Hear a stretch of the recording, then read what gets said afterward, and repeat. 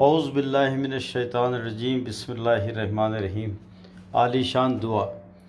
जैनमतकीन में है कि हज़रत रसूल खुदा सल्लल्लाहु वसम से रवायत है कि जो आदमी नमाज़ सुबह के बाद ये दुआ पढ़े तो इतना सवाब है कि जैसे कि उसने एक हज़ार हज किए हों और एक हज़ार शब की इबादत का सवाब मिलेगा।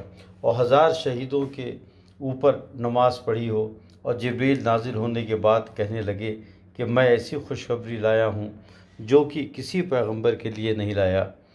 और वो ये है कि आपकी उम्मत में से ये दुआ नमाज़ सुबह के बाद एक बार पढ़े और अपने पास रखे तो परवरदिगार आलम कसम खाकर फरमाता है कि उस बंदे को सात चीज़ें दूँगा।